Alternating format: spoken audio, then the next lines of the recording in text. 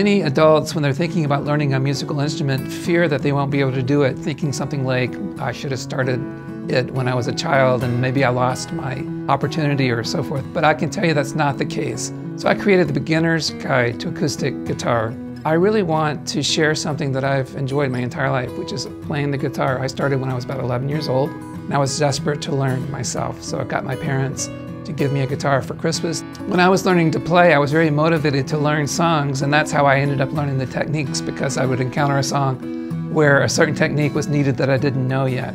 So I've basically built that into this whole course. As we go through each song, each song represents certain techniques. And once you've learned that song, you'll be able to play lots of other songs that are similar. I've recorded hundreds of videos for adult beginners and first-time players, and there are also downloadable charts and tablature, play-along tracks, things to help make learning easier and more fun. A feature that makes this course very unique is that you'll have the option of participating in video exchanges. And what that means is you can make a recording of yourself playing an exercise or a song and upload it.